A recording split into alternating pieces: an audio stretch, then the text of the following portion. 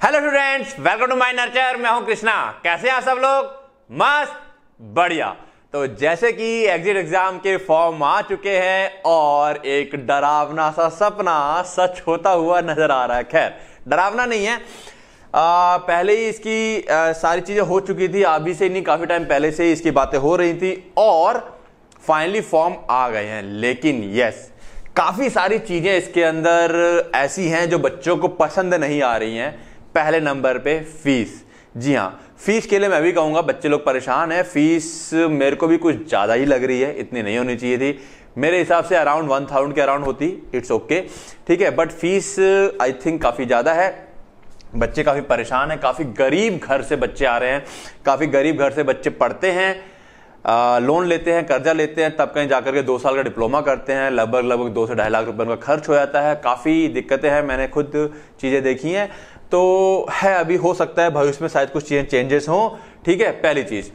दूसरी चीज़ जो बच्चों को बहुत ज़्यादा परेशान कर रही है एलिजिबिलिटी क्राइटेरिया ठीक है एलिजिबिलिटी क्राइटेरिया में बता दूँ मैं। ये एक, अभी मैं बता दूँ और स्टार्टिंग में ये बात बोल रहा हूँ, जिससे कि अगर कोई बच्चा पूरा वीडियो नहीं देखता है तो ये बात मेरी सुन ले ताकि, देखो बेटा, मैं फिर भी कहूँगा फॉर्म को लेकर के काफ़ी सारे अटकले हैं, मैं सारी चीज़ें इंफॉर्मेशन ब्राउज़र यानी कि जो रिलीज़ किया है इंफॉर्मेशन ब्राउज़र जो बुलेटिन उसने रिलीज़ किया है, ठीक है एग्ज़ाम कंडक्ट कराने वाली अथॉरिटी ने, उसी से सारी चीज़ें लेकर के आया हूँ। तो बहुत सारे सवाल है जो शायद आपको पता भी नहीं है कि ये चीज़ भी आपको जाननी चाहिए, वो सारी चीज़ इसके अंदर मैंने कवर कर दी है, ठीक है? तो मैं कह रहा था कि जो बच्चे पूरा वीडियो नहीं देखेंगे तो एटलीस्ट वो बच्चे ये इतना अगर देख रहे हैं तो कमेंट ज़रूर करें। क्या कमेंट करना है उन बच्चों को? किन बच्चों का ऐसे कौन से बच्चे हैं, यानी कि बच्चे मतलब स्टेट, ज़ाहिर सी बात है। 31 जुलाई से पहले किस किस स्टेट के रिज़ल्ट आ गए प्लीज़ बेटा लोग, आप लोग अगर ये देख रहे हैं वीडियो, इसको फॉरवर्ड करें ताकि हर बच्चा यहाँ पे नीचे कमेंट करेगा कि हाँ इस स्टेट का आया, इस स्टेट का आया, इस स्टेट का नहीं आया। मेरे ख्याल से 95 परसेंट से ज़्यादा स्टेट्स के नहीं आए हैं। ठीक है, पहली चीज़।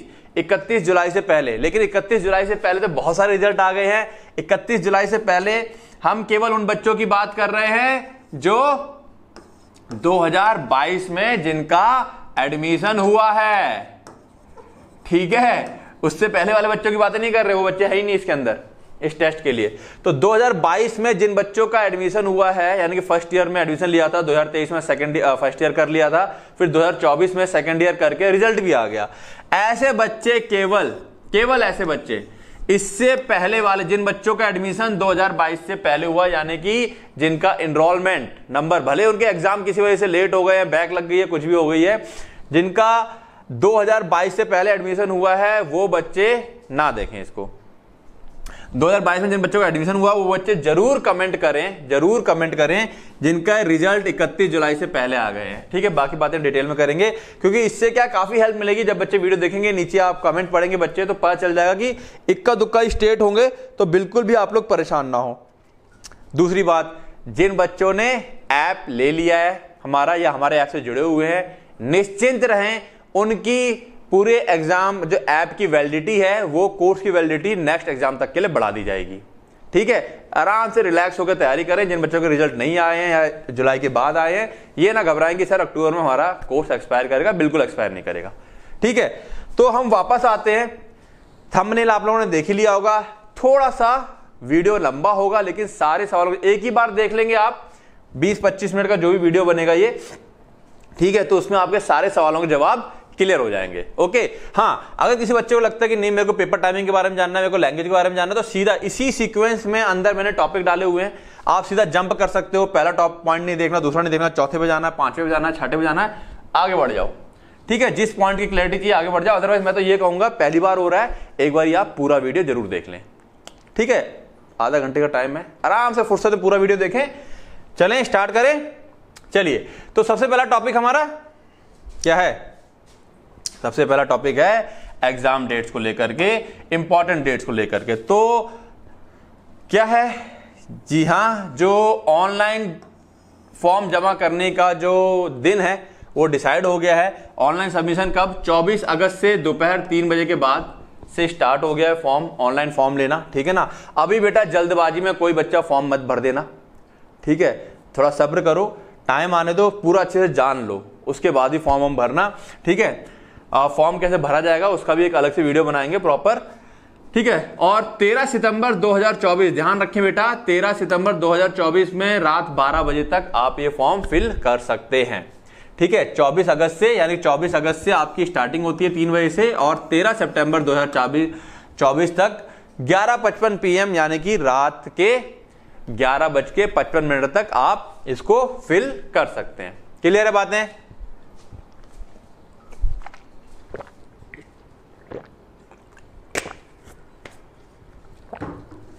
चलिए, अब आगे। फिर क्या कह रहा है? बच्चे जब फॉर्म भर देंगे, सब कुछ हो जाएगा तो कुछ गलतियाँ हो जाती हैं। क्या हो जाती हैं? कुछ गलतियाँ। उन गलतियों को सुधारने के लिए एक सभी सफल भुगतान आवेदकों के लिए, यानी कि जिनका पेमेंट सक्सेसफुल हो गया है केवल उन बच्चों के लिए संपादन विंडो यानी कि एडिट विंडो खोली जाएगी। Edit window for all payment success जिनकी पेमेंट सक्सेस हो गई है। सक्सेस का मतलब क्या है? मान लो किसी बच्चे ने ग्यारह पचपन है, साढ़े दस बजे पेमेंट करने की कोशिश करी, और उसका पेमेंट किसी वजह से फेल हो जाता है। ठीक है? नहीं पहुँचा, अटक गया कहीं बीच में, उसने फॉर्म पूरा भर के सबमिट कर दिया, और पता चला, पैसे तो वहाँ पहुँचे नहीं तो उसके लिए नहीं खुलेगा। बेटा, बहुत ध्यान से इसीलिए चीज़ें समझते जाना। तो जो ये विंडो खुलेगी, पहली विंडो खुलेगी 16 सितंबर को। देखो 13 सितंबर को बंद हो जाएगा, फिर 16 सितंबर 2024 से लेके 18 सितंबर 2024 तक, यानी कि 16 से लेके 18 सितंबर के बीच में वापस से करेक्शन विंडो खुलेगी। मतलब वापस से आपकी साइट खुलेगी, आप उसमें करेक्शन कर सकते हैं। क्या चीज़ करेक्ट कर सकते हैं? सारी चीज़ें नहीं। कोई इंफॉर्मेशन है documents can be edited except आप अपने डॉक्यूमेंट यानी कि क्या क्या चीज़ें एडिट कर सकते हैं। आप अपना नाम एडिट नहीं करेंगे नेशनैलिटी ईमेल मोबाइल नंबर और टेस्ट हिस्ट्री इसको छोड़ करके। कोई और करेक्शन है अगर तो वो करेक्शन आप कर सकते हैं, ठीक है ना? कोई इंफॉर्मेशन या डॉक्यूमेंट आप एडिट कर सकते हैं, नाम एडिट नहीं करेंगे, नाम नहीं बदल सकते नेशनैलिटी नहीं बदल सकते, ठीक है? अपना ईमेल नहीं बदल सकते मोबाइल नंबर नहीं बदल सकते टेस्ट सिटी नहीं बदल सकते। तो ध्यान रखना, पहली बार जब आप फॉर्म भरेंगे तो एक, दो, तीन, चार, पाँच। ये पाँच चीज़ें बड़ा सोच समझ के भरिएगा, इनको करेक्ट करने का मौका नहीं दिया जाएगा दोबारा से। ठीक है? और एक चीज़ बता दूँ मैं, बेटा, अभी आगे चलेंगे। कुछ चीज़ें बड़ा ही मतलब ये एग्ज़ाम को एकदम खतरनाक लेवल से बना दिया गया है। ठीक है? समझते जाइए। उसके बाद ये 18 को विंडो बंद हो जाएगी। एक बार फिर से 24 सितंबर को फिर से एडिटिंग विंडो खुलेगी। लेकिन इस बार कुछ और चीज़ें एडिट होंगी। ठीक है? 24 सितंबर और 25 सितंबर, दो दिन। 24 और 25 दो दिन के लिए फिर से एडिटिंग विंडो खुलेगी और इस बार क्या होगी? फाइनल एडिट विंडो है। इस बार क्या चीज़ें सही करी जाएँगी? To rectify deficient oblique incorrect images कोई इमेज फ़ोटो वगैरह जो अपलोड की जाती है, अगर उनमें कोई त्रुटियाँ हैं, कोई खामियाँ हैं, ठीक है ना? तो इस बार केवल और केवल दोस्तपूर्ण और गलत छवियों के लिए, यानी कि आपके फ़ोटो वगैरह के लिए ही ये चीज़ें एडिट कर देंगे जो इस इस चीज़ के लिए, यानी कि जो 16 से 18 खुली थी, ये चीज़ें वापस से एडिट करने का मौका नहीं मिलेगा। 24 और 25 में जो विंडो द्वारा खुलेगी तो यहाँ पर आप फोटोग्राफ सिग्नेचर और थम इंप्रेशन अगर थम इंप्रेशन सही से नहीं चढ़ा है सिग्नेचर सही से नहीं हुआ है, आपको लगता है फोटोग्राफ मेरा साफ़ सुथरा नहीं था, जैसा कि बोला गया था तो आप ये केवल तीन चीज़ें एडिट कर पाएँगे 24 और 25 तारीख में। ठीक है? इसलिए कह रहा था मैंने, बेटा, थोड़ा सा वीडियो लंबा होगा, आप समझते जाइएगा। ठीक है? अच्छा ये इसी बार के लिए नहीं। आप जब इस वीडियो को देख लेंगे तो ये हर बार के लिए एलिजिबल हो जाएगा। बस तारीख अलग अलग हुआ करेंगे हर बार के एग्ज़ाम के लिए, बाकी चीज़ें इसी तरह से चल चलेंगी। उसके बाद जब ये सबमिट हो जाएगा 25 के बाद 30 सितंबर को ये लोग एडमिट कार्ड जारी कर देंगे। इनकी वेबसाइट पर आ जाएगा, वहाँ से आप एडमिट कार्ड डाउनलोड कर सकते हो। और फाइनली तीन दिन एग्ज़ाम चलेगा थर्ड फोर्थ और फिफ्थ अक्टूबर को। तीन दिन एग्ज़ाम चलने वाला है। ठीक है, ये एग्जामिनेशन डेट है और लगभग एक महीने बाद, यानी कि फोर्थ नवंबर को ये लोग रिज़ल्ट आपका दे देंगे। बहुत जल्दी काम होगा। रिज़ल्ट इतना जल्दी क्यों आ रहा है? कैसे आ रहा है? उम्मीद है ये बात आपको समझ में आती होगी, क्योंकि एग्ज़ाम जो है हमारा कंप्यूटर बेस्ड होगा। पेपर पेपर पेंसिल मोड पे नहीं होगा कंप्यूटर पे ही जिस तरीके से हम आपका टेस्ट लेते हैं अपनी एप्लीकेशन पर, हम आपका टेस्ट लेते हैं आपके अपनी एप्लीकेशन पर कि इतने टाइम में ये पेपर सॉल्व करना है, आपने टिक गया उसके बाद ऑटोमेटिक वो बंद हो जाता है। उतने टाइम के बाद। ठीक उसी तरीके से आपका क्या होने वाला है? कंप्यूटर बेस्ड टेस्ट होने वाला है। ठीक है? तो ये तो होगी इंपॉर्टेंट डेट्स के बारे में बातें। हेल्पलाइन नंबर तो जी हाँ हेल्पलाइन नंबर है, ये मैं आपको इसलिए बता रहा हूँ कि जब आप एक बार रजिस्ट्रेशन करा देंगे, ध्यान रखना बेटा, जब आप रजिस्ट्रेशन कर लेंगे अपना, उसके बाद आप इस नंबर पे कॉल कर सकते हैं और इंक्वायरी ले सकते हैं। ठीक है? ये नंबर कब से कब तक खुलेंगे? ये नंबर आपका 24 अगस्त से लेकर 31 अक्टूबर तक खुला रहेगा, ठीक है ना? और ये सुबह साढ़े नौ बजे से लेकर शाम के छह बजे तक ही काम करेगा। ध्यान रखना इस चीज़ का तो इस पर बहुत सारी कॉल जाने वाली हैं तो आप यहाँ पे कॉल करके किस बारे में पूछ सकते हैं। आप क्वेरी कर सकते हैं related to application form submission form के सबमिट के बारे में रिफंड वगैरह के बारे में कुछ जानना चाहते हैं। कोई आपका ट्रांजैक्शन फेल हो गया, आपने ऐसे ट्रांजैक्शन किया था, आपका पैसा नहीं पहुँचा, और वो आपके पास वापस भी नहीं लौटा है ठीक है? पेमेंट गेटवे इशू यानी कि आप किसी पेमेंट गेटवे का मतलब यूपीआई से फ़ोन पे गूगल पे से पेमेंट कर रहे हैं, उसको लेके कोई इशू आ रहा है तो आप यहाँ पे लेके फ़ोन कर सकते हैं। ठीक है? Portal can be access through the applicant log in after registering and application जब आप रजिस्टर कर देंगे बेटा, उसके बाद ही आप यहाँ पर मतलब वो लोग आपको कुछ बता पाएँगे। ठीक है? उसके अलावा for queries related to eligibility oblique document oblique images registration करने के बाद भी अगर आपको लगता है, देखो, रजिस्ट्रेशन हो जाएगा, पेमेंट रजिस्ट्रेशन होने के बाद, रजिस्ट्रेशन में आपका केवल क्या, फ़ोन और नंबर लिया जाता है, पेमेंट नहीं होता है। तो रजिस्ट्रेशन करने के बाद आप चाहें तो एलिजिबिलिटी और डॉक्यूमेंट, अभी भी अगर आपको डाउट लग रहा है गया कोई चीज़ तो आप डायरेक्ट इस नंबर पर कॉल करेंगे और अपने सारी क्वेरी एलिजिबिलिटी को लेकर डॉक्यूमेंट्स को लेकर इमेज को लेकर के पूछ सकते हैं। क्लियर है बातें? तो आप डायरेक्ट इस नंबर पे कॉल करके एक बारी रजिस्ट्रेशन करने के बाद, क्या करने के बाद? रजिस्ट्रेशन करने के बाद आप डायरेक्ट कॉल करके यहाँ पे चीज़ें पूछ सकते हैं। ठीक है? अब इसके अलावा मैंने टाइमिंग बता दी।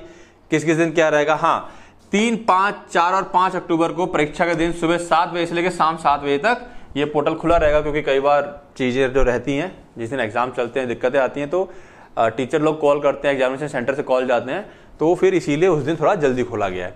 ठीक? तो इस दिन तो आप कॉल कर ही नहीं पाएँगे। चलिए, आगे आते हैं। ठीक है हेल्पलाइन नंबर हो गया। अब इंफॉर्मेशन फॉर स्टूडेंट बेटा, ये ध्यान से सुनिएगा आप लोग, सब लोग। आप लोग कहेंगे, सर, पता नहीं क्या लेके आ गए? ये बच्चों के लिए कुछ खास इंफॉर्मेशन है, ठीक है? इसके अंदर बहुत सारी बातें होने वाली हैं। क्या क्या इंफॉर्मेशन है, आओ देखें। पहली चीज़, ठीक है? जो ये एग्ज़ाम है साफ़ साफ़ लिखा है as per the current schedule अभी के शेड्यूल के हिसाब से। भविष्य में चेंज हो जाए, अलग बात है। The diploma in pharmacy exit examination shall be conducted by जो संस्था है अभी हमारी नेशनल बोर्ड ऑफ़ एजुकेशन वाली, यही कराएगी और बाई एनुअली कराएगी मतलब साल में दो बार कराएगी। क्लियर है? साल में दो बार। The DPE shall conducted in March April पहला मार्च और अप्रैल के बीच में हुआ करेगा, दूसरा सितंबर अक्टूबर के बीच में हुआ करेगा। ठीक है सितंबर में हो सकता है अक्टूबर में हो सकता है। इस बार अक्टूबर में हो रहा है। ठीक है तो एक मार्च अप्रैल और एक सितंबर अक्टूबर एवरी ईयर हर साल साल में दो बार। महीना पता चल गए मार्च अप्रैल और सितंबर अक्टूबर क्लियर आगे आते हैं। अब थोड़ा सा आगे इस बात को बेटा बहुत ध्यान से सुनेंगे, समझेंगे और क्योंकि यहाँ पर चीज़ें समझने वाली है। Candidate who fail to submit duly completed application for the DP October 2024 candidate जो फेल हो जाएगा प्रॉपरली अपने एप्लीकेशन फॉर्म को प्रॉपरली सबमिट नहीं कर पाता, उसमें कुछ त्रुटियाँ रह जाती हैं, कुछ खामियाँ रह जाती हैं। ठीक है? और फेल टू अच्छा सबमिट नहीं कर पाया, उसके बाद वो रेक्टिफाई भी नहीं कर पाया। रेक्टिफाई मतलब करेक्शन विंडो खुली, वो तब भी उसे ठीक नहीं कर पाया, जो खामियाँ थी। In their application by the last date of prescribe for rectification जब लास्ट डेट थी विंडो खुलने की करेक्शन की, तब भी वो उसे ठीक नहीं कर पाया।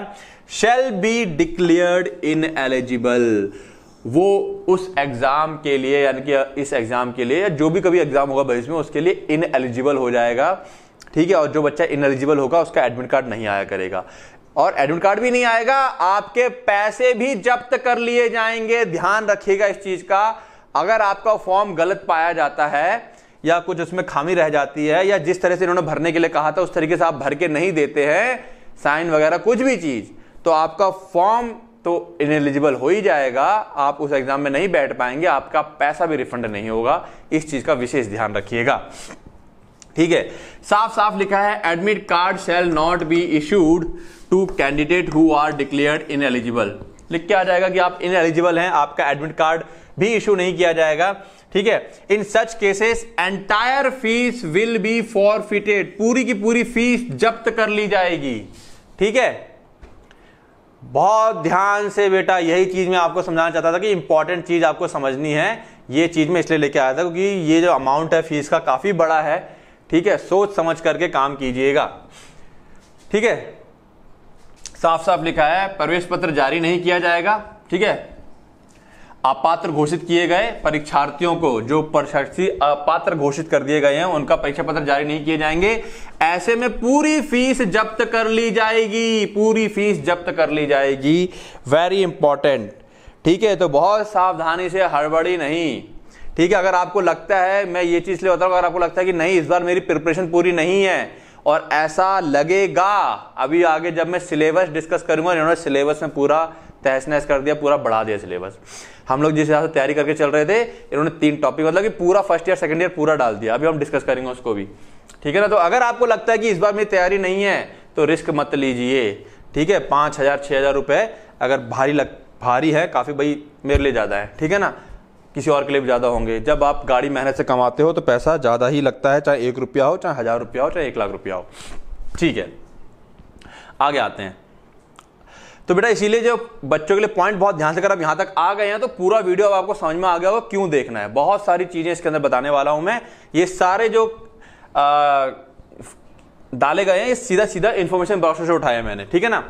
Candidate should ensure before submission of online application form that they shall qualify the final examination for their diploma in pharmacy qualification स्पष्ट बोल दिया है। सबमिट करने से पहले वो सुनिश्चित कर ले कि आपका डिप्लोमा इन फार्मेसी का जो फाइनल एग्जामिनेशन है for their diploma in pharmacy qualification by the prescribe cut off date जो डेट बोली गई है, यानी कि 31 जुलाई से पहले आपका पास का रिज़ल्ट आपके हाथ में होना चाहिए।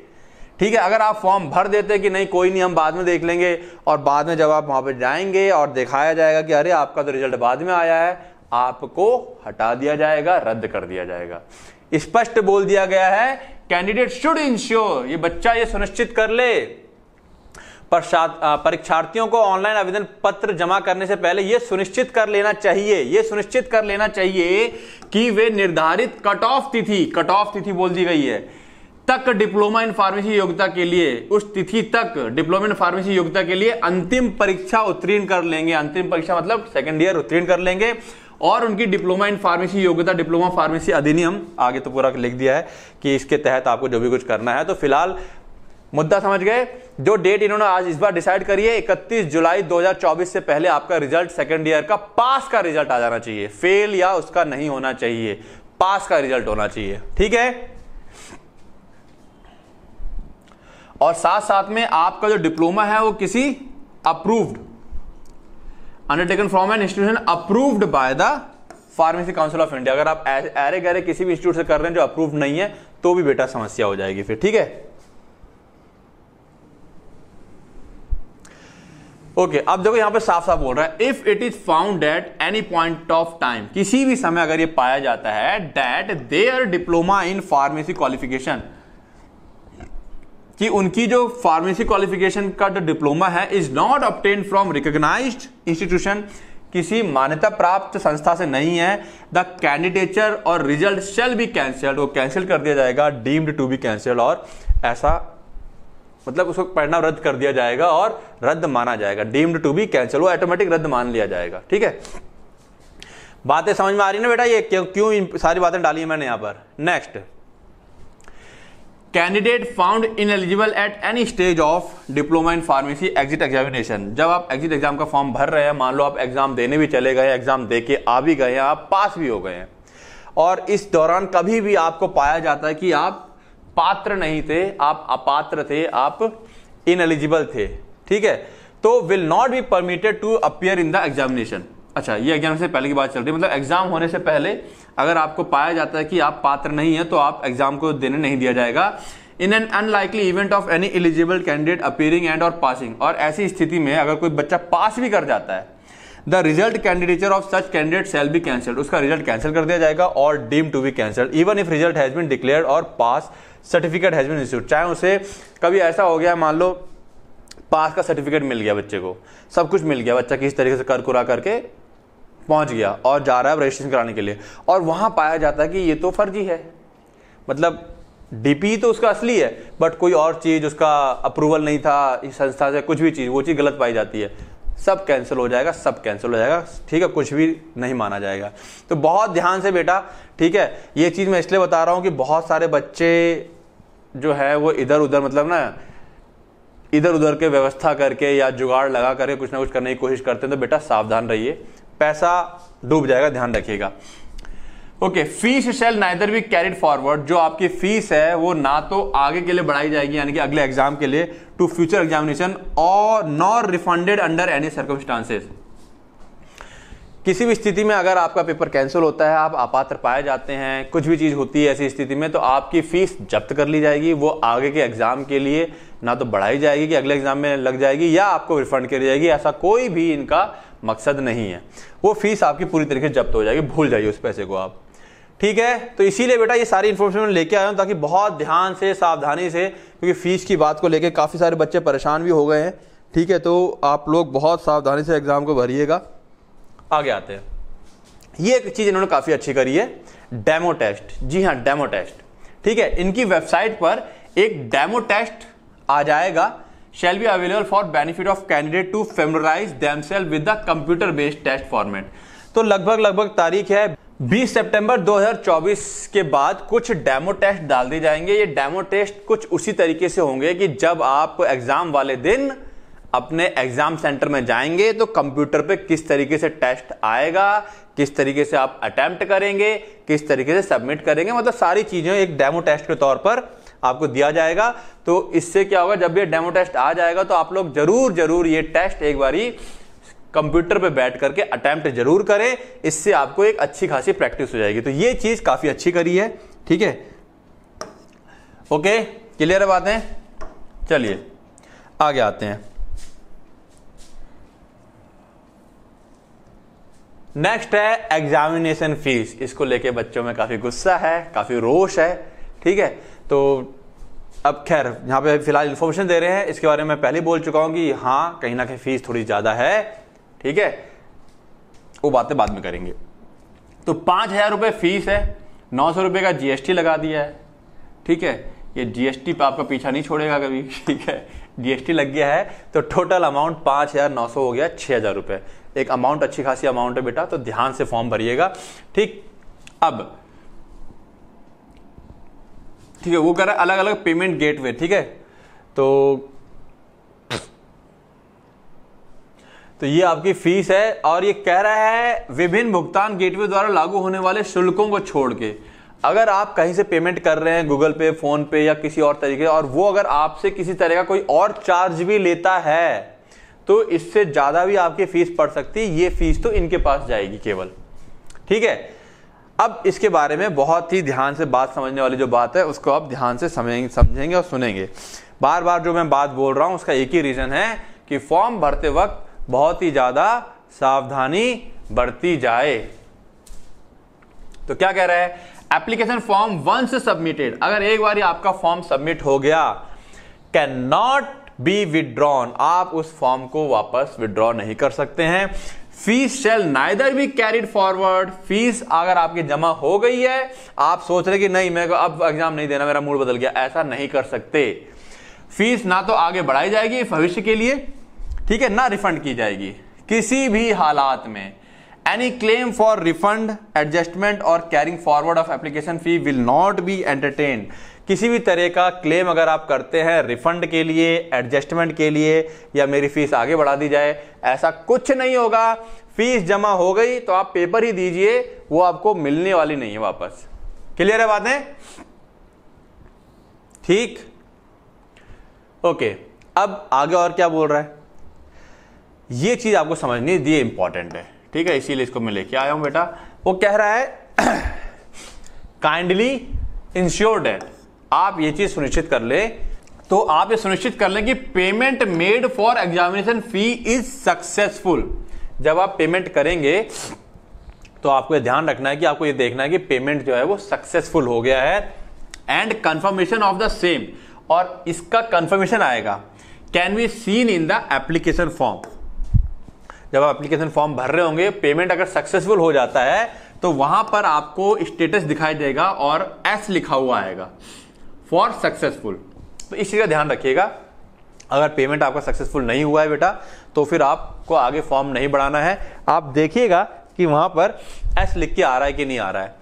इन केस अगर किसी केस में status is shown as pending अगर वहाँ पेंडिंग दिखा रहा है the payment might be stuck with your bank तो उसने साफ़ कहा है, अगर पेंडिंग दिखा रहा है, इसका मतलब ये नहीं है कि पेमेंट वहाँ नहीं पहुँच उनके पास से नहीं दिखा रहा है।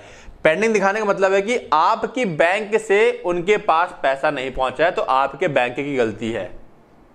ठीक? आपके बैंक की गलती है, आप अपने बैंक में पता कीजिएगा इस चीज़ का। And might be clear at a later date और हो सकता है कि आपका बैंक इस पेमेंट को बाद में क्लियर करे, एक घंटे बाद, दो घंटे बाद, दस मिनट बाद दो दिन बाद वो बैंक के ऊपर रह जाता है। अब इसके बाद एक और चीज़ बोल रहा है वो।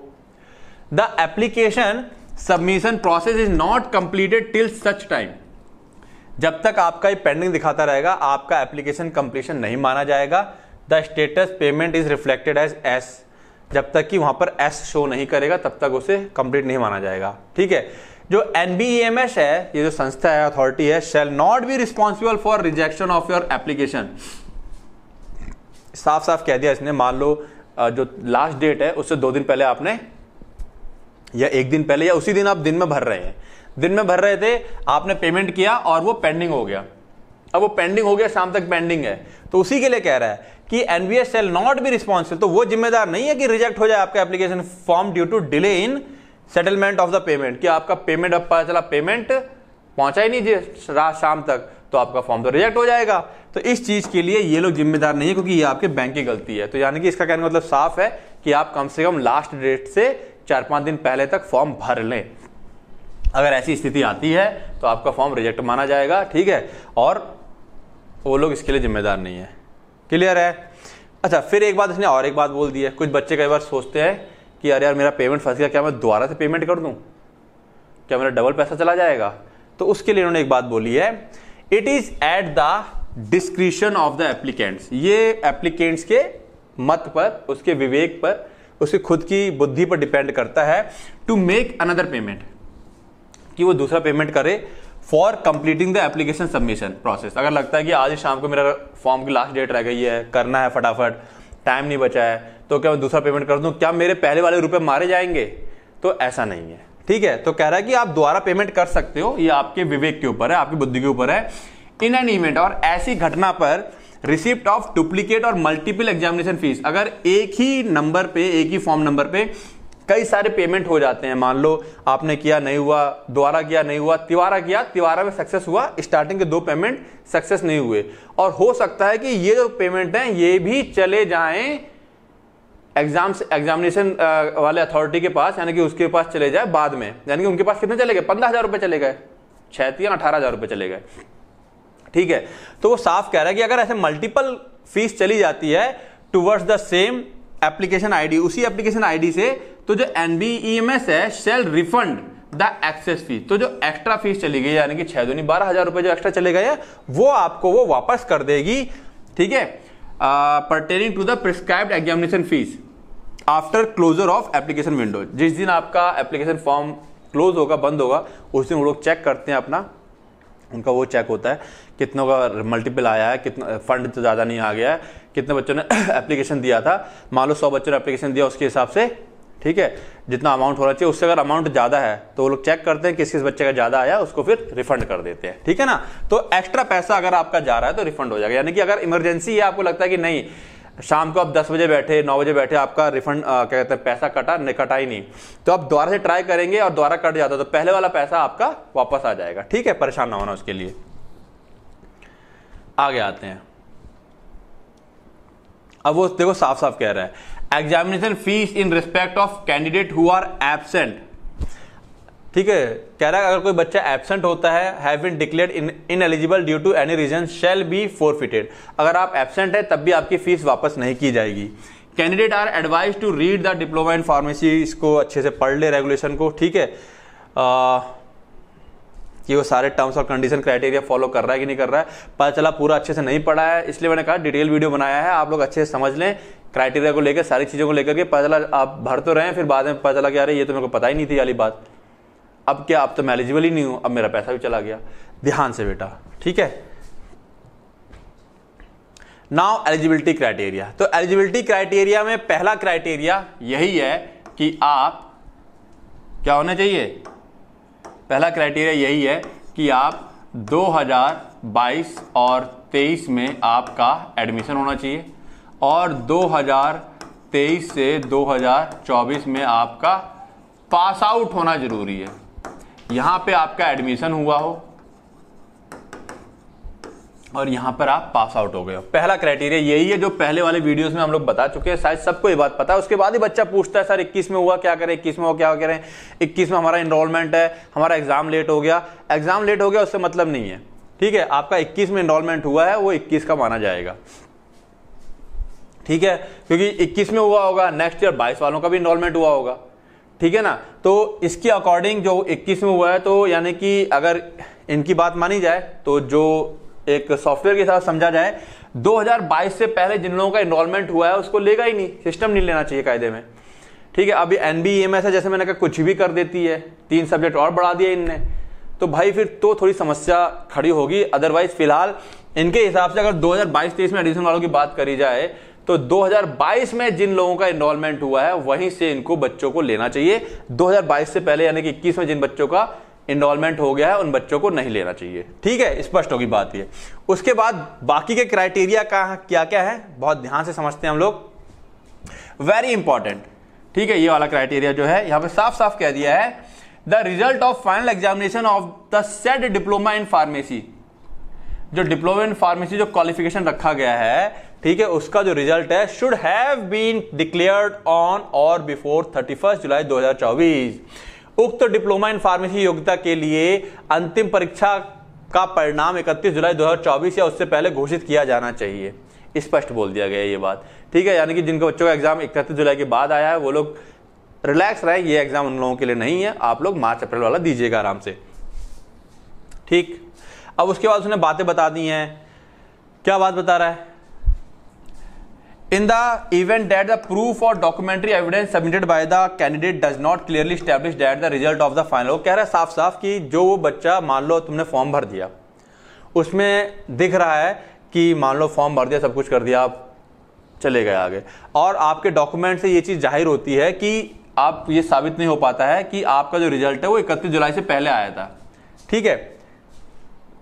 तो ऐसे में क्या होगा that the candidate has been declare pass qualified in the final examination in all mandatory required courses the candidate shall be cancelled ठीक है?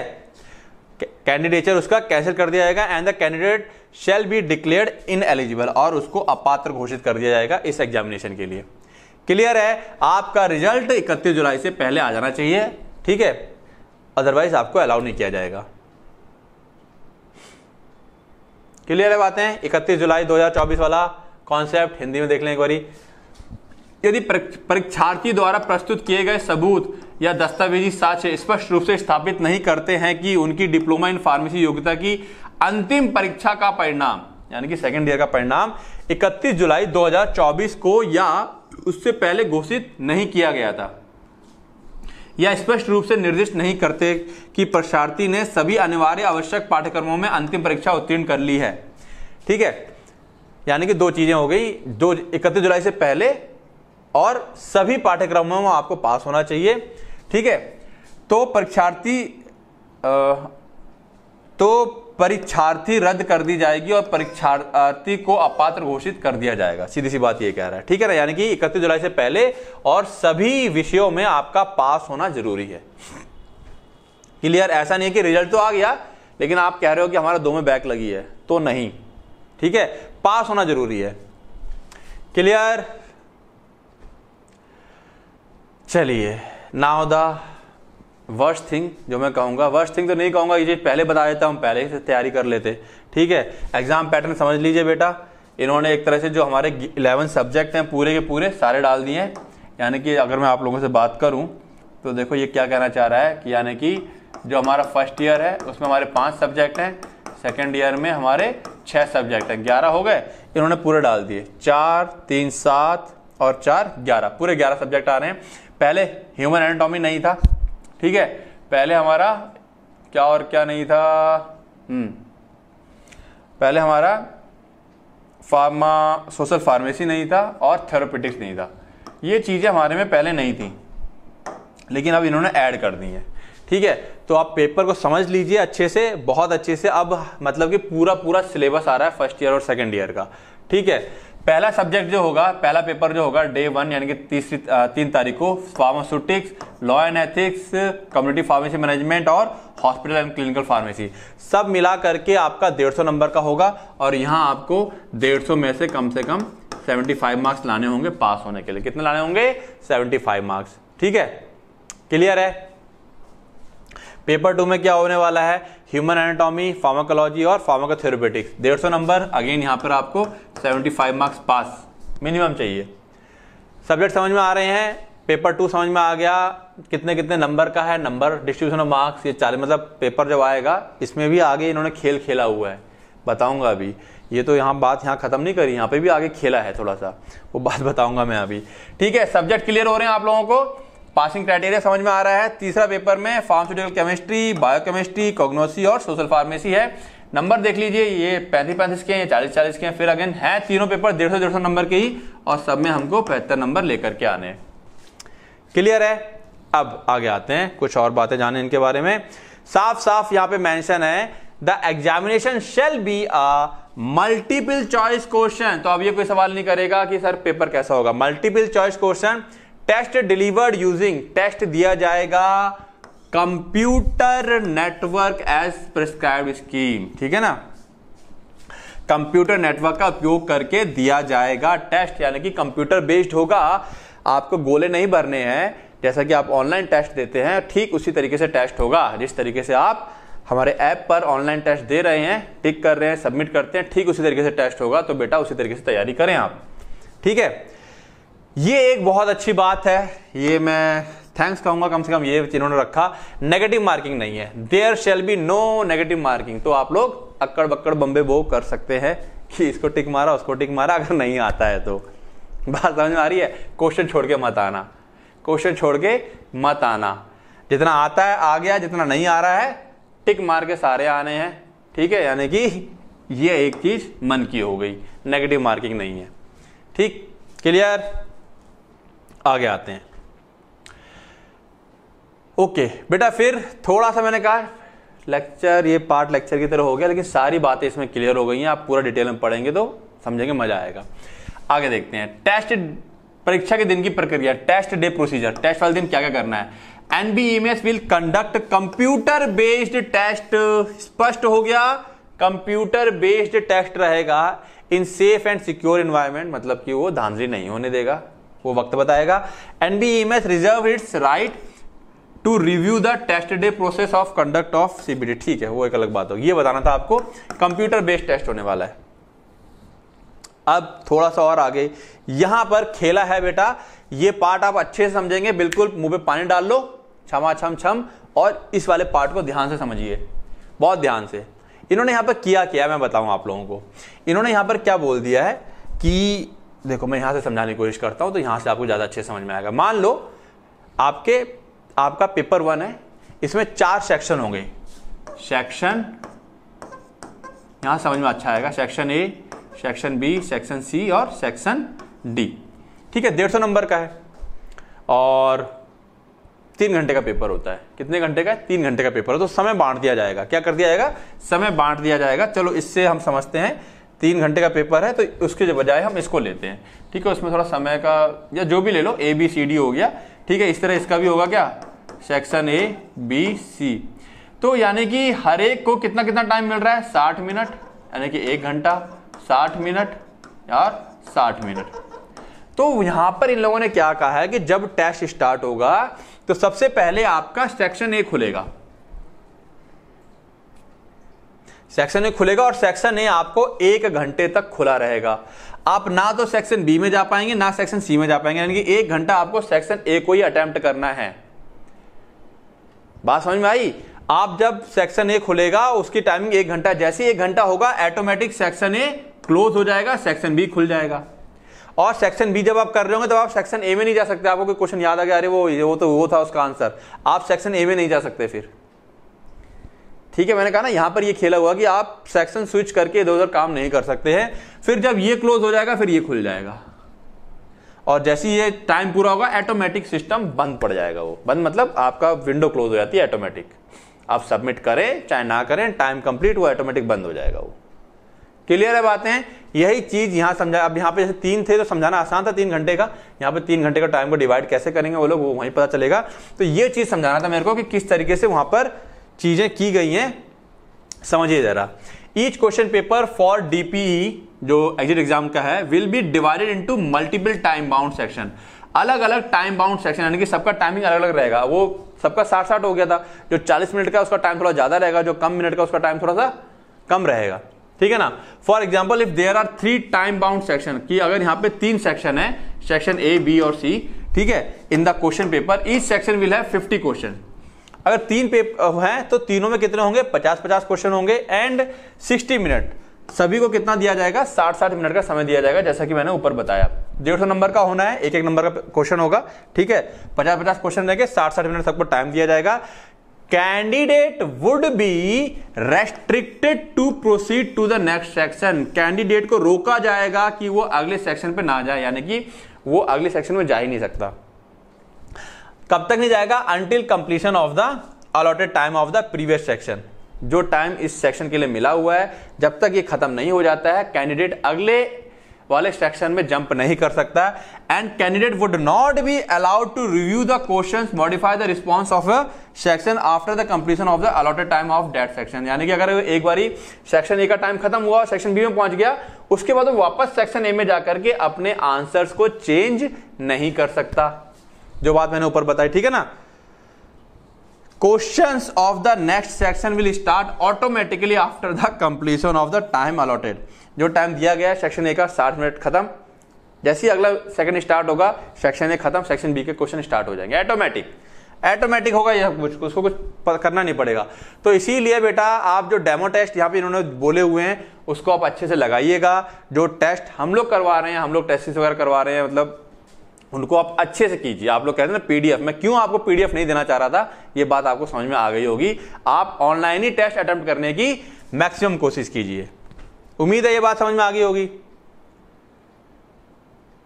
चलिए, आगे आते हैं। अब कितना चाहिए passing marks a candidate shall be declared as having passed only if he obtain minimum of 50 percent marks in each paper separately यानी paper one, paper two, paper three, इन सब में इसको अलग अलग पचहत्तर पचहत्तर पचहत्तर लेके आने, एक में भी कम रह गया तो गया तो फेल माना जाएगा।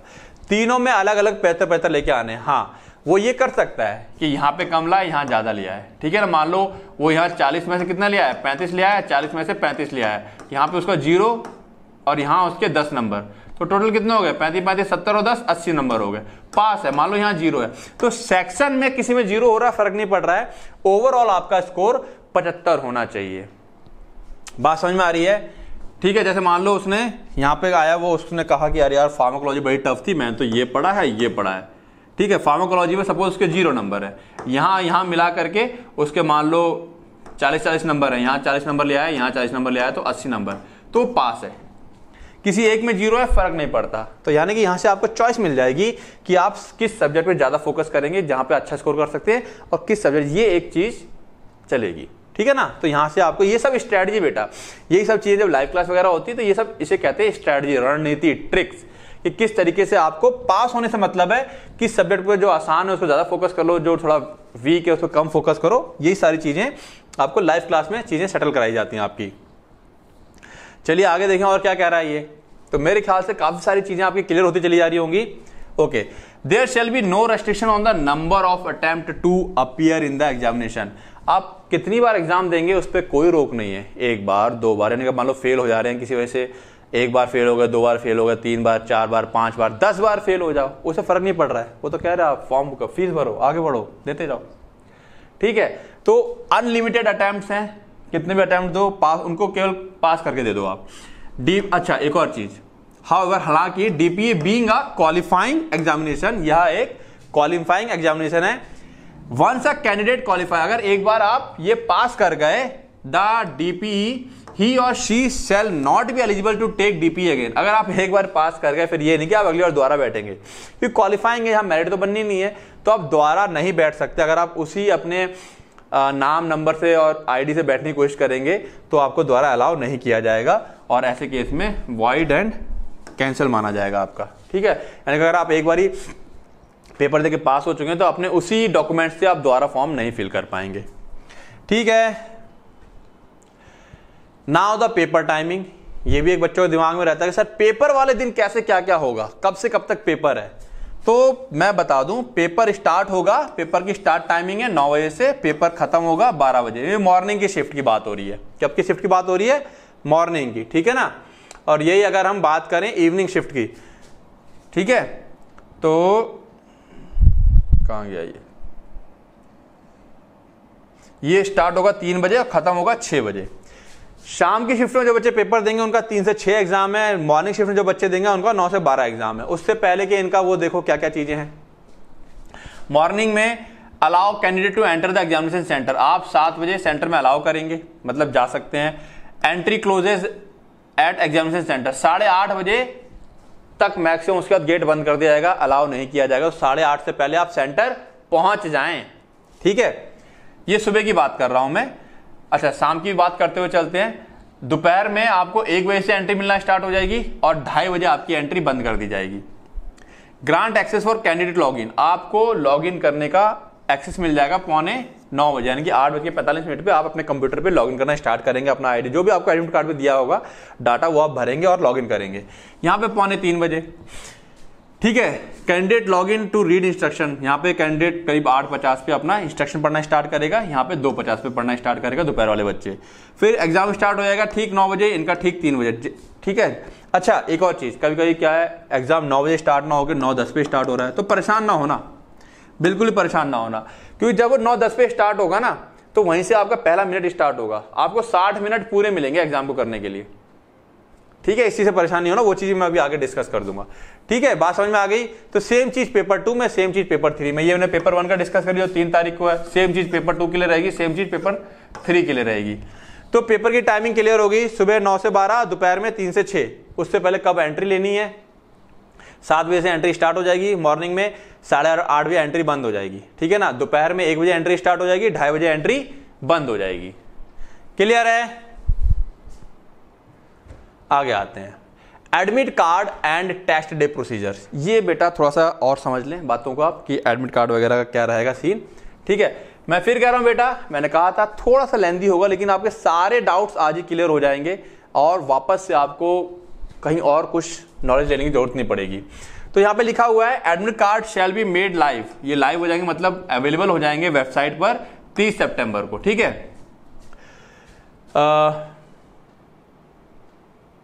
Admit card will not be issued उन बच्चों को इशू नहीं किया जाएगा एडमिट कार्ड जो कि अपात्र घोषित हो गए हैं इन एलिजिबल हो गए हैं before the conduct of examination यानी कि अगर आपको लगता है कि आपका एडमिट कार्ड शो नहीं कर रहा है, उस पर इन एलिजिबल लिख के आ रहा होगा, दिखा रहा होगा कि आप इन एलिजिबल है। ठीक है?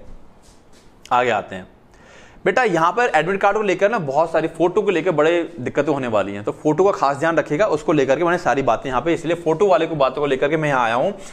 Candidates are required to download their admit card from NBMS website आप उस वेबसाइट से अपना एडमिट कार्ड डाउनलोड करेंगे और चिपकाएँगे एक recent not more than three month old यानी कि रिसेंट मतलब कोशिश यही करना कि हफ़्ते भर पहले की हो फ़ोटो ठीक है? उस फ़ोटो को आप चिपकाएँगे। पासपोर्ट साइज़ फोटोग्राफ होगा। In the space provide on the admit card यानी जब एडमिट कार्ड आपका आ जाएगा तो उसके बाद आप लेटेस्ट फ़ोटो जो आपकी होगी ठीक है, उसको आप उसके बाद चिपकाएँगे। The photograph must meet the following specification. और वो फोटोग्राफ कैसी होनी चाहिए, आओ देखें। ठीक है तो ये चीज़ मेरे को आप बतानी थी कि एडमिट कार्ड के ऊपर आपको एक बारकोड भी मिलेगा और आपको अपनी फ़ोटो भी लगानी है। ठीक है तो क्योंकि बहुत ही ज़्यादा सख्ती से पेपर होने वाला है। जो फोटोग्राफ का साइज़ है वो 35 फाइव इंटू फोर्टी मिलीमीटर रहेगा। ठीक है not larger than the box printed on admit card जितना बॉक्स बना हुआ उससे बड़ा साइज़ का नहीं होना चाहिए। ठीक है with at least 75 percent area on the photograph should be occupied with the face and head of the candidate मतलब कि चेहरे पे आपका सिर्फ़ फ़ोटो पे कोशिश करेंगे, ज़्यादा से ज़्यादा आपका चेहरा हो। ये नहीं कि चेहरा छोटा हो, पीछे का बैकग्राउंड बहुत ज़्यादा हो। ऐसा करेंगे तो रिजेक्ट कर दिए जाओगे। ठीक है ना? अभी मैं उसका वो दिखा दूँगा। एक वीडियो अलग से बना देंगे, उसमें क्या क्या चीज़ें रहेंगी किस किस प्रकार की फ़ोटो नहीं होनी चाहिए किस किस प्रकार की फ़ोटो होनी चाहिए। फ़ोटो एकदम क्लियर होना चाहिए, पीछे का बैकग्राउंड व्हाइट रहेगा, चेहरा बड़ा मतलब बड़ा मतलब चेहरा क्लियर रहना चाहिए। ये चीज़ ध्यान रखिएगा आप लोग। ठीक है? It should be colour photograph photograph आपका कलर्ड होगा विद व्हाइट बैकग्राउंड पीछे का बैकग्राउंड आप व्हाइट रखेंगे और कलर्ड फोटोग्राफ होगा। ठीक? क्लियर होगी बातें, ये आपको एडमिट कार्ड पे चिपकानी है। नेक्स्ट परीक्षार्थियों को परीक्षा केंद्र में निम्नलिखित दस्तावेज़ लाने होंगे। क्या क्या चीज़ें आपको एग्जामिनेशन सेंटर में लेके जानी है? ठीक है? बार कोडेड एडमिट कार्ड आपका जो एडमिट कार्ड आप बेटा डाउनलोड करेंगे ना उसके ऊपर एक बार कोड होगा स्कैन करने के लिए। ठीक है तो वो ये नहीं कि आप एडमिट कार्ड लेके आए, बहुत ज़्यादा घुचड़ मुचड़ करके मत रख लेना। ऐसा फोल्ड करना कि जहाँ पर बार कोड आपका आ रहा हो, वो चीज़ फोल्ड ना हो। इस तरीके से फोल्ड वगैरह कीजिएगा। बार कोड डिस्ट्रॉय मत कर लेना, वरना एंड टाइम पे दिक्कत आ जाएगी। बार कोड स्कैन नहीं होगा तो दिक्कत आ जाएगी। ठीक है? प्रिंटेड कॉपी और वो भी कलर्ड लाना है बेटा आपको। Black and white photograph admit card नहीं चलेगा। Very important very very important ये सब बातें आपको एंड टाइम पे दिक्कत करेंगी, इसीलिए सारी बातें मैं लेके आया। कलर्ड एडमिट कार्ड लेके जाना है। और उस पर जो बारकोड होगा आपका, उसको इस तरह से फोल्ड नहीं करना कि बारकोड है ना गुजर मुजर सा हो जाए बारकोड आपका सुरक्षित रहना चाहिए। उसके अलावा एडमिट कार्ड के अलावा any one of the below mention government issued photo ID उसके अलावा आपको एक अपनी ओरिजिनल आईडी लेके जानी है। क्या क्या हो सकता है? पैन कार्ड हो सकता है, ड्राइविंग लाइसेंस हो सकता है, पासपोर्ट है, आधार कार्ड विद फोटोग्राफ, जिसमें फ़ोटो टो हो, ठीक है? ये सब चीज़ें आपको लेके जानी है। क्लियर है?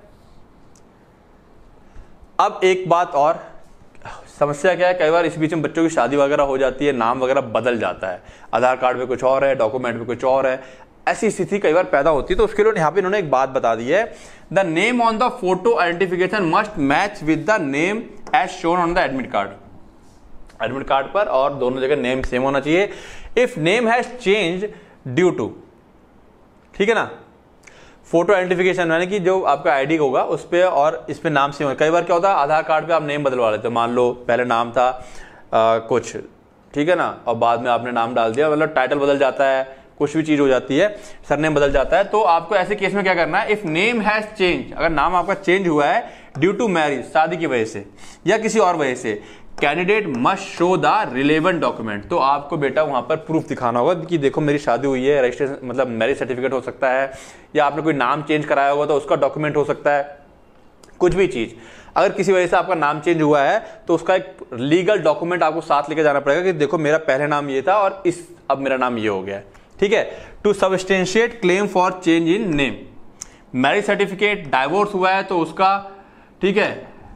लीगल नेम चेंज डॉक्यूमेंट कई बार कुछ लोग लीगली नेम चेंज कराते हैं, बाकायदा प्रोसेस होती है नाम चेंज कराने की, या gazette notification for name change कई बार नाम चेंज कराने का गैजेट किया जाता है कि मेरा नाम अब यहाँ से ये चेंज हो रहा है। कई सारे प्रोसेस होते हैं, अगर ऐसी कोई स्थिति है किसी के साथ रेयर केस होते हैं ये ये काफ़ी रेयर केस है, बहुत ही कम लोगों के साथ होता है। अगर ऐसा किसी के साथ होता है तो वो बच्चा भी ध्यान देगा। ठीक है? अब एट द टेस्ट सेंटर देखो बेटा टेस्ट सेंटर में क्योंकि कंप्यूटर बेस्ड है तो यहाँ पे ध्यान रखना पेन पेंसिल कुछ भी लेके नहीं जाना है, पानी की बोतल वगैरह कुछ भी अलाउड नहीं है खाना पीना कुछ भी अलाउड नहीं है। सब कुछ वहीं मिलेगा आपको, ठीक है? पहली चीज़। दूसरी बात, लड़कियों के लिए खास करके, इस बार बेटा शक्ति है, इस बार क्या शक्ति है ही? ऑर्नामेंट्स ज्वेलरी ध्यान से। सभी आभूषण, धार्मिक वस्तुओं सहित, धार्मिक वस्तुओं सहित अगर आप कुछ पहनते हैं ताबीज आबीज या आप कोई लॉकेट वगैरह डाल रहे हैं तो धार्मिक वस्तुओं को स्पेशल बोल दिया गया है, घर पे ही छोड़ के आइएगा। ठीक है? जैसे कंगन, अंगूठी, झुमके नोज़ पिन नाक के पिन है चेन हार पेंडेंट के साथ हार बैच कोई बैच वगैरह आप लगा रहे हैं ब्रोच आदि, कोई भी चीज़ है ठीक है तो बेटा, ध्यान रखें, खासकर जो लोग बच्चे धर्म को थोड़ा ज़्यादा मानते हैं और इसके इसके चलते कुछ चीज़ें अपनी बॉडी पे पहनते हैं तो कुछ भी चीज़ अलाउड नहीं है। ठीक है? इसी का ध्यान रखें। इसीलिए इसके साथ और भी चीज़ें थी, वो तो पता ही है आप लोगों को, पेन, पेंसिल खाना पीना कुछ भी लेके नहीं जाना है। ये चीज़ को मैंने स्पेशली बता दिया कि आप पता चला वहाँ पहन के चले जाएँ और फिर आपको वहाँ पे निकालना पड़ रहा है, आपको दिक्कत हो रही है। तो ये चीज़ पहले मेंशन कर दी है, वो आपके सुनने वाले नहीं है। उन्होंने साफ़ साफ़ कह दिया कि आप पढ़ के क्यों नहीं आए? पहले सब कुछ मेंशन कर रखा था। ठीक। उसके अलावा candidate will compulsory required to carry following item with them to the examination क्या क्या चीज़ें लेके आनी है? आपका प्रवेश पत्र एडमिट कार्ड सरकार द्वारा फ़ोटो पहचान पत्र, कोई आपकी आइडेंटिफिकेशन प्रूफ है ना? जैसे कि वोटर आईडी पैन कार्ड बस ये चीज़ें आपको ले जाना अलाउड है। इन दो चीज़ों के अलावा आप कोई चीज़ नहीं ले जाएँगे और कोशिश कीजिएगा नॉर्मल कपड़े पहनिएगा, जैसे नॉर्मल ट्राउज़र है टी शर्ट है ठीक है, बहुत ज़्यादा वैसे कपड़े मत पहनिएगा क्योंकि चेकिंग वगैरह का थोड़ा सिस्टम ज़्यादा है इस बार।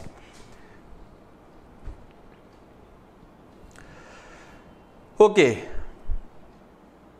अब यहाँ पर बेटा ये जो पॉइंट है एक्चुअली ये पॉइंट मैं आप लोगों को इसलिए बता रहा हूँ कि जिन बच्चों के दिमाग में अगर किसी तरह की कोई खुरापात है तो वो ये खुरापात दिमाग में ना रखें।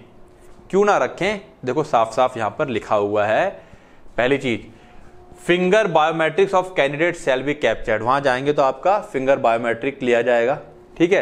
At the time of registration of the test जब टेस्ट का रजिस्ट्रेशन होगा तो आपका फिंगर यानी कि आपको कहीं ना कहीं कैफ़े में जाकर ही ये सारे काम करने पड़ेंगे। आप कैफ़े में जाएँगे जहाँ पर आपका फिंगर बायोमेट्रिक होकर रजिस्ट्रेशन होगा। Test registration for the test at test venue ठीक है? तो क्या कह रहा है, परीक्षा स्थल पर परीक्षा के लिए पंजीकरण के समय परीक्षार्थियों के फिंगर बायोमेट्रिक्स को कैप्चर किया जाएगा, जिसके अलावा, इसके अलावा परीक्षा के दिन पंजीकरण के समय समय प्रत्येक बायो बायो ब्रेक और परीक्षा के दौरान परीक्षकों की तस्वीर भी खींची जाएगी। ठीक है साफ़ साफ़ चीज़ें बोल दी गई हैं। इन एडिशन इसके अलावा photograph of the candidate shall also भी कैप्चर्ड यानी कि अगर आपकी जगह कोई दूसरा बंदा जाता है एग्ज़ाम देने के लिए ऐसी स्थिति किसी, कोई बच्चा पैदा करता है तो बेटा फोटोग्राफ भी खींचा जा रहा है। तो बहुत ध्यान रखिएगा, मामला फंसेगा। ठीक है ऑन द एग्ज़ाम डे उसी दिन खींचा जाएगा। At the centre at the time of registration ठीक at each bio break and during the exam face ID shall be verified against the photographs captured on the exam day यानी कि आपकी face ID को match किया जाएगा कि आप वही बंदे हैं या नहीं है। पूरी शक्ति बढ़ती जा रही है। Therefore it is essential to upload a recent photograph इसलिए आप रिसेंट जो एकदम अभी का फोटोग्राफ जो अपलोड करेंगे एग्ज़ाम फॉर्म भरते समय, हाल ही की तुरंत वाली फोटोग्राफ और अगले एक महीने तक ऐसा मत करना कि अभी बाल बड़े हैं, मूछे हैं, दाढ़ी है और एग्ज़ाम वाले दिन सब कटा दो, या फिर अभी सब कटा रखिए और एग्ज़ाम वाले दिन बढ़ा लो। ये काम मत करना बेटा। फंस जाओगे एग्ज़ाम नहीं देने दिया जाएगा। ठीक है? तो ये सब चीज़ें क्योंकि यानी कि आपका फ़ोटो वोटो थम इंप्रेशन फ़ोटो वगैरह खींची जाएगी एग्ज़ाम के समय। तो बी अलर्ट पढ़ाई करें, ठीक है? किसी और तरह के चक्करों में ना पड़े। Now the last one and very important बच्चा इसको लेके बहुत परेशान रहता है कि, सर एग्ज़ाम कर रहे थे लाइट चली जाएगी तो क्या करेंगे? मेरा सिस्टम चलते चलते मेरा सिस्टम बंद हो गया। मैं काम कर रहा था, मेरा माउस ही काम नहीं कर रहा था, मेरा सिस्टम बंद पड़ गया। मतलब इस तरह की तमाम दिक्कतें आती हैं। तब क्या करेंगे? है ना? ये भी सवाल आता है बच्चों का तो ये सवाल समझिए क्या है? डिसरप्शन हैपन कहीं पावर फेलियर हो गया during the exam time after the candidate have logged in either for one or more candidate एक या एक से अधिक किसी बच्चों का मतलब पावर फेलियर हो जाता है, यानी कि आपका एग्ज़ाम वहीं का वहीं रुक जाएगा तो क्या मेरा एग्ज़ाम चलता रहेगा? नहीं। कोई एक्शन लेने की ज़रूरत नहीं है। The timer will stop when the failure occur and will resume when the failure is rectified जैसी सिस्टम को सप्लाई बंद होगी ना वो सॉफ्टवेयर ऑटोमेटिक सेंस कर लेगा और आपका एग्ज़ाम वहीं का वहीं रुक जाएगा। यानी कि अगर आपका थर्टी मिनट हुए तो थर्टी मिनट पर आपका एग्ज़ाम रुक जाएगा। फिर जैसी लाइट आएगी, सिस्टम चालू होगा और आप लॉग इन करेंगे, तभी आपका एग्ज़ाम 30 मिनट के आगे चालू होगा। तो ये बात आप ध्यान रखिएगा, जैसी अगर ऐसी कोई कंडीशन आती है, अपना टाइम नोट करके रखिएगा। ठीक है? There will be no time loss कोई टाइम लॉस नहीं होगा। ठीक है? और किसी तरह का कोई दिक्कत नहीं आने वाली है। क्लियर पहली चीज़, अगर लाइट चली जाएगी तो क्या होगा? दूसरी चीज़ candidate machine is locked during the exam पता चला कई बार काम करते करते आपका सिस्टम विंडो लॉक हो गई। विंडो अचानक से ठप पड़ गई। ठीक है? Example loss of connectivity with the primary server मान लो कुछ पीछे सर्वर से आ रहा था नेट आ रहा था, वो बंद पड़ गया। उसी सिस्टम का जिसपे आप बैठे हो, वही सिस्टम का स्विच खराब हो गया अचानक से। बंद पड़ गया। ऐसी स्थिति में क्या होगा? अगेन वही। IT manager in each exam room आपको तुरंत हाथ खड़ा करना है कि, सर, दिक्कत है दिक्कत है दिक्कत है। जो आईटी मैनेजर होगा वेरीफाई करेगा इसको। अनलॉक करेगा द कैंडिडेट के अकाउंट का and the timer start from the same point where the candidate had left और ऐसी स्थिति में भी आपका टाइमर वहीं का वहीं रुक जाएगा। वो सॉफ्टवेयर के अंदर होता है। जिस टाइम पे आपका सिस्टम ब्रेक हुआ था, ठीक है, वो सेंस कर लेता है कि अब सिस्टम ब्रेक हो गया है, ठीक है कनेक्टर कट गया है तो वो वहीं का वहीं टाइम रुक जाएगा। आप वहाँ पे बताएँगे, सर ऐसी ऐसी दिक्कत है। ऐसी स्थिति में देखो, होगा। कुछ बच्चों के साथ ऐसा होगा, उनका टाइम लंबा जाएगा। यानी कि वो ठीक नौ से बारह तक एग्ज़ाम खत्म नहीं कर पाएँगे, हो सकता है साढ़े बारह तक एग्ज़ाम खत्म करें। जिनके साथ दिक्कत होगी, वो उनका एग्ज़ाम लेट हो जाएगा थोड़ा सा, क्योंकि उतने बीच में डिस्टर्बेंस रहेगी। ठीक है? तो आप बताएँगे, वो ठीक करेगा, आपका एग्ज़ाम वहीं से चालू होगा। There will be no time loss in allocated examination time due to this locking अगर ऐसा कोई लॉक होता है तो आपका टाइम का लॉस नहीं होगा। मान लो आधा घंटा लग गया आपका सिस्टम सही होने में। तो वो टाइम तो वहीं से स्टार्ट होगा ना तो आपको आधा घंटा एक्स्ट्रा ही मिल जाएगा। निश्चिंत रहिएगा। Now third point candidate complain of any specific issues in the machine candidate complain कर रहा है कि भाई स्क्रीन फ्लिकरिंग कर रही है स्क्रीन हिल रही है बार बार आ रही है, जा रही है। ठीक है? माउस इशू है माउस नहीं हिल रहा है। System getting lock system lock हो जा रहा है। हैंग बीच बीच में वो हैंग कर जा रहा है। अगर ऐसा इशू कर रहा है तो on reporting of the issue जैसे आप हाथ खड़ा करेंगे, बताएँगे, सर, ऐसी दिक्कत आ रही है। जो वहाँ पे आईटी मैनेजर होगा या जो इन्विजिलेटर होगा, जो वहाँ पे देख रेख कर रहे होंगे टीचर्स वगैरह वेरीफाई करेंगे और lock the candidate machine verify करेंगे कि हाँ ऐसी दिक्कत है और तुरंत आपको बताना बेटा, आपको ये बात। तो वो चेक करेंगे कि हाँ स्क्रीन में गड़बड़ है, तुरंत वहाँ पर वो लॉक कर देंगे। आपका टाइम वहीं का वहीं रुक जाएगा। ठीक है? आपको शिफ्ट किया जाएगा फ्रॉम देयर अलॉटेड सीट आपको उस सीट से दूसरी सीट पे शिफ्ट कर दिया जाएगा या आपका सिस्टम चेंज किया करेगा, वो कुछ भी करेंगे, उनकी ज़िम्मेदारी रहेगी। ठीक है? To buffer seat in the same or other lab during the examination या तो हो सकता है उसी कमरे में कोई दूसरा सिस्टम दे, या दूसरी जगह कोई दूसरा दूसरा लैब में पहुँचा दें आपको। If required there will be no time loss in allocated examination time due to this shifting और ये शिफ्टिंग चल रही है, इस बीच में आपको कोई भी लॉस नहीं होगा, आपका टाइम उतना आपको मिलेगा। ठीक है तो ये कुछ बच्चों को सवाल रहते हैं, सर, ऐसा होगा तो क्या होगा? तो ये सारे भी सवालों के जवाब इन्होंने दे दिए क्लियर तो this is all about the information brochure और फिर से कह रहा हूँ बेटा कि पढ़ाई करिए, ठीक है? अब इसमें आगे क्या होगा, क्या नहीं होगा, चीज़ें, वो बात की बातें रहेंगी। कुछ चीज़ें खराब हैं, कुछ चीज़ों से बच्चे खुश हैं, कुछ नाखुश है, सिलेबस आपका बढ़ा दिया गया है। दो तीन चीज़ें हुई हैं, सिलेबस बढ़ गया है, पूरा कंप्लीट सिलेबस आ रहा है, ठीक है? फ़ीस थोड़ी सी बच्चों को कहीं ना कहीं दिक्कत दे रही है, ठीक है? इनके ऊपर बातें बाद में करेंगे, लेकिन जहाँ तक मैं ये भी जान रहा हूँ कि इस अक्टूबर वाले में बहुत कम बच्चे बैठेंगे, क्योंकि वो इकतीस जुलाई के चक्कर में एलिजिबल नहीं होंगे, ठीक है? तो निश्चिंत रहिए, केवल पढ़ाई पे फोकस कीजिए, आगे जो होगा वो देखेंगे, बाद बाकी आप अपना रिवीजन करते रहिए, और हमसे जुड़े रहिए, ठीक है? और अच्छी प्रैक्टिस के लिए चाहें तो माइंड नर्चर जो ऐप है, उसको प्ले स्टोर से डाउनलोड करके वहाँ से अपना टेस्ट सीरीज़ और क्लासेस को ज्वाइन कर सकते हैं। ठीक है फ़र्स्ट अटेम्प्ट में ही बढ़िया से आप निकलेंगे। ठीक है, और मेन चीज़ क्या है? रिवाइज करना है, पढ़ना है और मेहनत करनी है। ठीक है? All the best